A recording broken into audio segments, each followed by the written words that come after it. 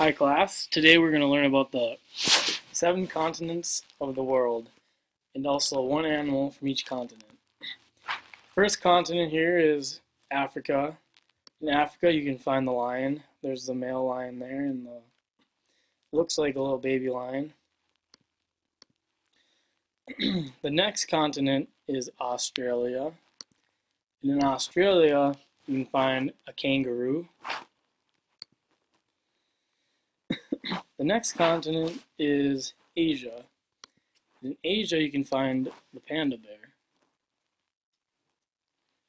It looks like the panda bear looks like is eating either some bamboo, some leaves here.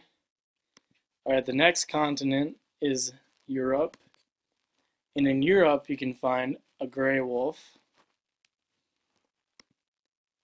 Okay, the next continent is North America. And in North America, you can find the bald eagle.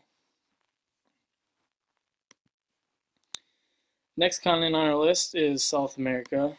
And in South America, you can find cheetah. Cheetah is one of the fastest animals on land.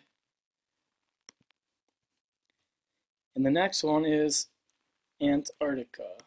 In Antarctica, you can find penguins.